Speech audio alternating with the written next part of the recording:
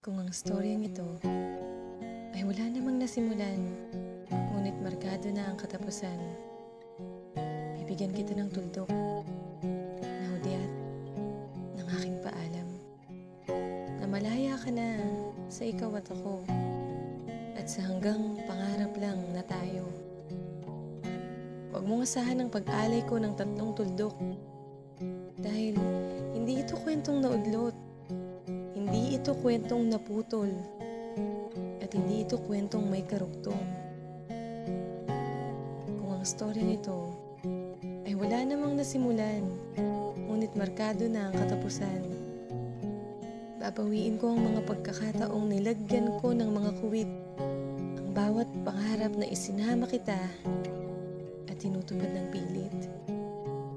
Kakalimutan ko pati ang mga kudlit na isinabit ko sa dulo ng pangalan ko at dinugtungan ko ng pangalan mo na naging tanda ng pag-angkin ko sa iyo.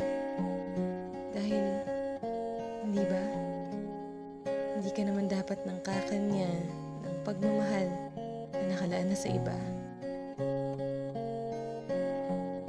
Kung ang storyang ito ay wala namang nasimulan, ngunit markado na ang katapusan, ibubuhos ko lahat ng tandang pananong. Dahil marami pa akong bagay na kini-question.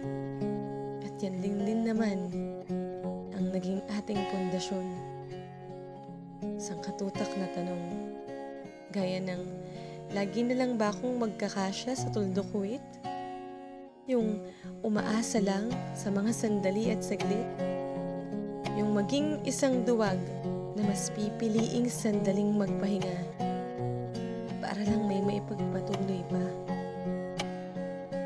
Pero paano nga kung ang storyang ito ay wala namang nasimulan ngunit markado na ang katapusan? Anong bantas pa kasi ang tunay nating kailangan?